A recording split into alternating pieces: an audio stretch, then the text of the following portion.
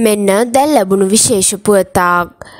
LNG බලාගාර පද්ධතිය ඇමරිකාවට පැවරීම යන මෙයින් සංවිධානය කරන මහජන මන්ත්‍රණ සභාවේ මංගල සැසිය අද පැවැත්වීමට නියමිතය.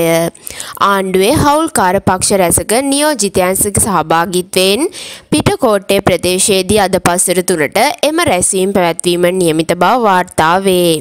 ඒ සඳහා විමල් වීරවංශ උදය ගම්මන්පිල වාසුදේව නානායක්කාර පූජ්‍ය අතුරලියේ රතන හිමි මහාචාර්ය තිස්ස විතාරණ ටිරාන් අලස් ගෙවිඳු කුමාරතුංග යන මහත්වරුන් ඇතුළු දේශපාලන පක්ෂ නායකින් සහභාගී වීමට නියමිතය. මේ අතර ජනාධිපති ගෝඨාභය රාජපක්ෂ මහතා සහ අග්‍රාමාත්‍ය මහින්ද රාජපක්ෂ මහතා සමග යුගදනව බලාගාරයේ සම්බන්ධයෙන් මතුව ඇති ගැටලුකාරී තත්ත්වය පිළිබඳ ආණ්ඩුවේ හවුල්කාර පක්ෂ නායකින් ඊයේ සාකච්ඡාවක් සිදු කර තිබේ. මෙවැනිම පුවත් දැනගැනීම සඳහා අපගේ නාලිකාව සබ්ස්ක්‍රයිබ් කරන්න.